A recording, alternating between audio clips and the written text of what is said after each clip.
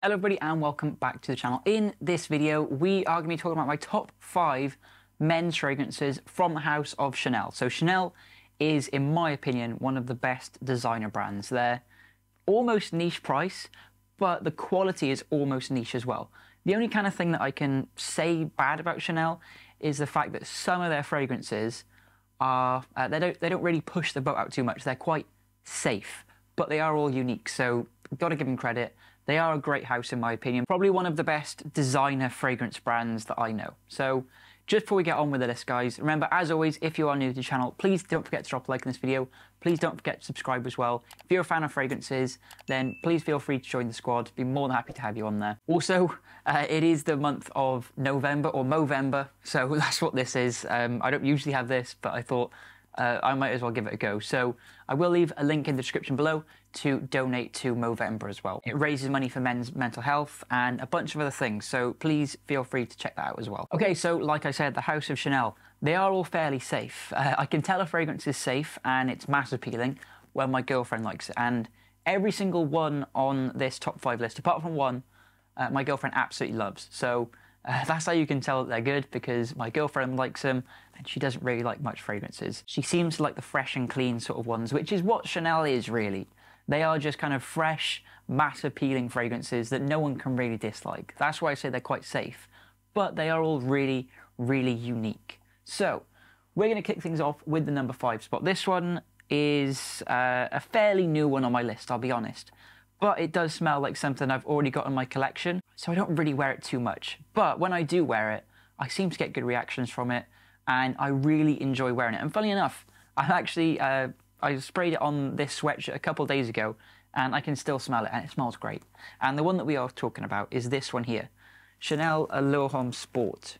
And I think this is just the Eau de Toilette version. This is the non-extreme version. This is just the kind of as it comes, Chanel Allure Sport. And to me, when I smell it, it's just like a powdery, fresh marine citrus smell. And it, like I said, it reminds me of another fragrance I've got. It reminds me a little bit like this, which is Versace Pour Homme. And out of the two, oh, wrong way around, out of the two, I would probably say, in terms of quality, this one is probably a little bit better, but this one performs a tiny bit better and it projects a little bit more. This one's a little bit more subtle, but in my opinion, it's a little bit more powdery and it smells a little bit nicer. There's a really nice tangerine note in here, which I really enjoy. So like I said, this one's probably uh, one of the safest ones that you can wear. It doesn't have the best performance, uh, but this is this would be perfect for like a summer day, uh, all, all year round, to be honest. It is that versatile, but I can see myself wearing this mainly in the summer. So coming in at the number five spot is Chanel Homme Sport Original. Okay, coming in at the number four spot, sticking with the Allure line, we've got this one here. Chanel Homme Sport Eau Extreme. So this one is basically the upgraded version of Chanel Allure Homme Sport. This one takes in a little bit more of a sweet direction because there is a really nice tonka bean note in here. So tonka bean, if you didn't know, kind of smells like a like a dry or almost burnt vanilla smell. And they've also got the note of mint in here. So this thing when you smell it is super fresh and it's super fresh, it's super bright and uplifting, and it's been debated in the fragrance community whether or not this is a fall and winter fragrance or a spring and summer fragrance. I'm under the opinion you can wear this all year round. I think at the time of recording this video, this is my third or fourth most complimented fragrance. Projection and longevity on this thing are actually really, really good. For the first two to three hours that you spray this thing on, people can smell you 100%. I know they can smell you. So uh, if you are going out, if you just want something safe to wear and just spray on and it works with any outfit, this thing is a great fit for that. It's really good. You can wear it in any occasion. It is Chanel, so it has got that kind of classiness to it, and you can wear it in any season, any occasion. So probably the most versatile one that I own, and I just love it. And I've had this for such a long time.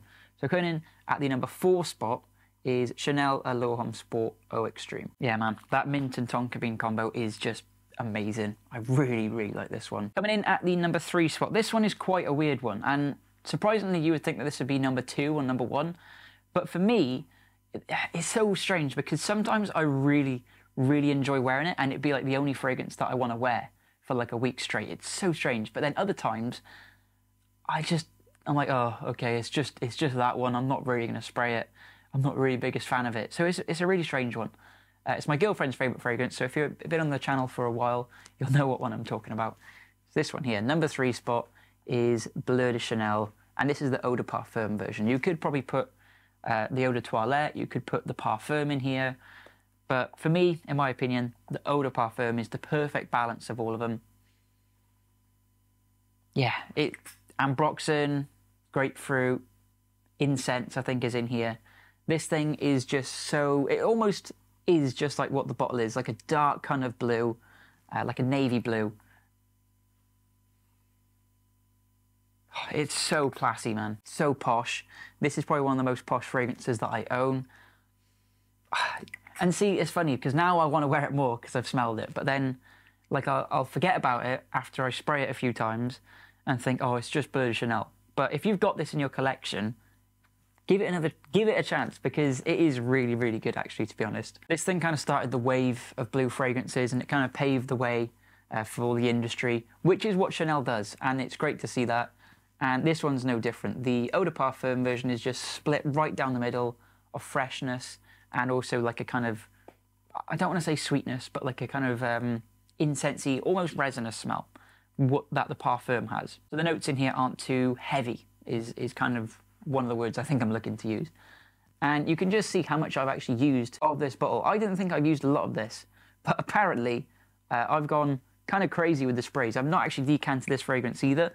So uh, I've probably taken about 60 mil, and out of 80 fragrances, that's quite a lot. Performance and longevity, again, are really, really good for this. I would probably say, uh, in terms of projection, I get about four to six hours, and then after that, it sort of stays like a skin scent to about this, this range, but people can still smell you. Uh, I've worn this whenever I go out a few times, and I've sprayed it on at like six o'clock in the afternoon, and then at like midnight, people say they can still smell me. So Coming in at the number three spot is Bleu de Chanel. Okay, coming in at the number two spot.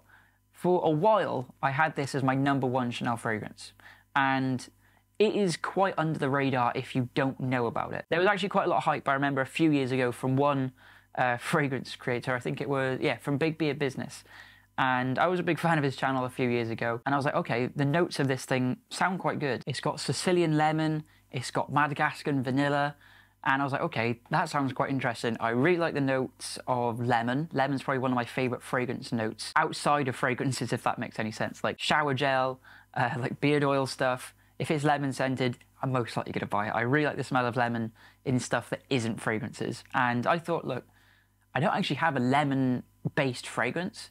So let's do it. Let's bite the bullet and let's actually go out and purchase this fragrance. The one that I'm talking about at the number two spot is this one here so under the radar, I think, in my opinion, from the House of Chanel, and that is Edition Blanche, or Allure Homme Edition Blanche.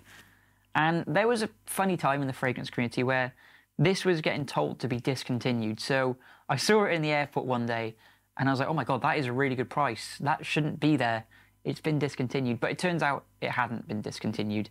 And I'm so glad it's still available. I'm so glad that people can still have the, uh, the option to actually go out and buy this. In my opinion, this is like the kind of perfect uh, end, if you're looking for like the be all end all, for the Allure Homme Sport line.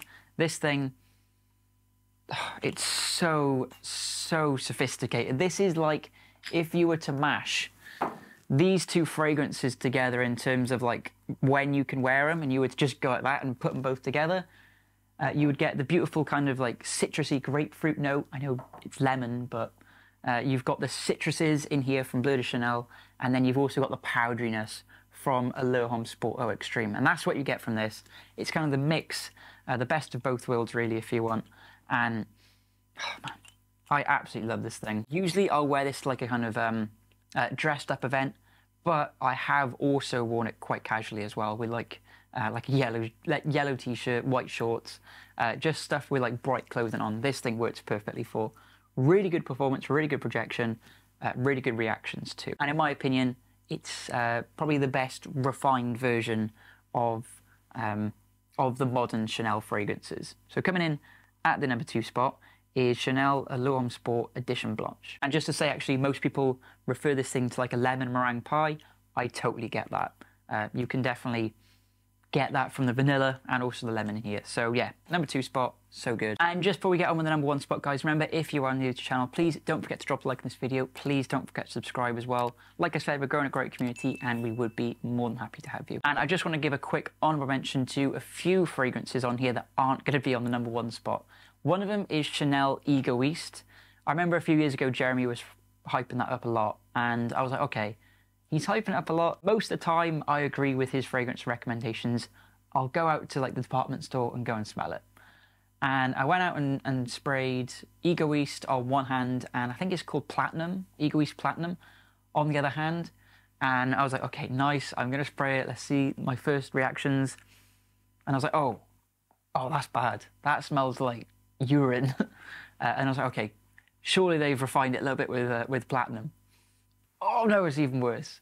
Um, but that was a few years ago, and funny enough, the number one spot I had a similar reaction. Bear in mind, this was about six to seven years ago when I tried Egoiste, Ego East Platinum, and the number one spot. So that's why it's not in this list because I actually haven't gone back and tried Egoiste. Maybe it makes the list, but for me personally, at this time, uh, I can't really recommend it to you because uh, I don't have enough experience with that one.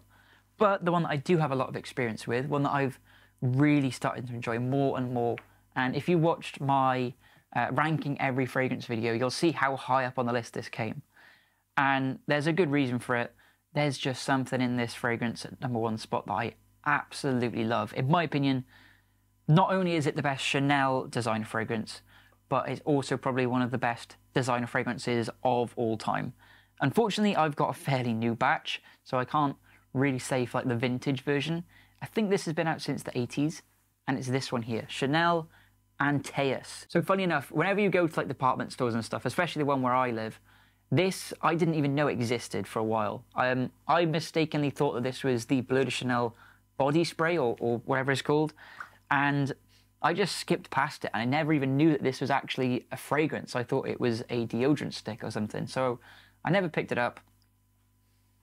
And I'm so glad I did because I sprayed this on one of the tester cards and I took it home with me and I had it in my car and I set it on the dashboard. And the whole car ride home, I was like, okay, something smells amazing. Like maybe it's my car air freshener. And I, I smelled it. I was like, it's definitely not that. And I was looking around the car. I'm like, what is that? Is it my fragrance that I'm wearing for today? No, it's not that. And then I saw the cards and I'm like, oh, of course is, is Antaeus. This is such a complex fragrance. It's a really nice chypre. It's got like amazing oak moss in here. It's got castoreum, which is uh, the note from uh, a beaver's butt, basically. It sounds really weird. It's also got a really nice freshness to it. So you've got that animalic side to it of the oak moss and the castoreum in here, which gives it kind of like a sweaty almost smell. You've also got the really nice freshness to it from the sage, the bergamot, the lime, and the lemon. To me, actually, it gives a kind of almost pine sort of smell. So you've got like the oak moss and then you've got the fresh pine. So it's very, very manly. It's not for everyone, I'll be honest, but oh, it's powdery too. There's just something about this. It's also got like a hint of floral notes in there, which just give it like a like a softness to it. And oh man, I just absolutely love this thing. It develops perfectly. I love it on skin. I love it on clothes. And in my opinion, this is just like the perfect designer fragrance. So coming in at the number one spot is Chanel's Antaeus. If you can find an older bottle which has the Eau de Toilette above the Chanel, this one's a fairly new batch, I'll be honest, and they've had to regulate the castoreum a lot. So if you can find an older batch, it'll be a lot more musky, uh, but still you can't go wrong with the newer batches. So yeah, number one spot, my favorite Chanel fragrance uh, or designer Chanel fragrance is Antaeus. So that is going to do it for this video, guys. Let me know down below, what are your favorite fragrances from the House of Chanel. Like I said, they're probably one of my favorite designer fragrance brands and uh, potentially they're yours as well. So if you've ever tried anything from Chanel, be interested and see what your thoughts of the brand as a whole are. Let me know down in the comments below. Also guys, remember as always, don't forget to drop a like on this video. Don't forget to subscribe. If you guys want to know how I've managed to afford all of these high-end designer fragrances, and a bunch of niche fragrances, there actually is a way that you can do that without spending any of your own money, essentially. And the way that you do that is by fragrance decant. And I talked about it slightly earlier when I said uh, I haven't decanted Bleu de Chanel, like this one here, Amouage Beach Hut Man. I've probably only sprayed this about 10 times, but as you can see, there is a massive dent out of this thing. and that is helping me offset the cost. So by the time I get to 50 mil of this thing, I would have covered my initial cost for this, and I would have had 50 mil remaining and the bottle. So if you guys want to learn how to offset the cost of your fragrances, grow a massive collection without any of your own money, then maybe that course is for you. It's a mini course, it only costs you £10. You can make that back literally. If you were to sell two mil of Beach Hut Man or a five mil, you've already made your money back. You can do this with any fragrance that you've got. For example, like this one here, Versace Pour Homme. This is one that I've been decanting heavily recently. And if you were to decant just two of this, this fragrance cost me like £20. You can do two five mils and it pays for the course. So if that sounds like something you'd be interested in, there's a link down in the description below. That is going to do it for the shameless plugs. Thank you so much for watching this video, and I will see you all in the next one.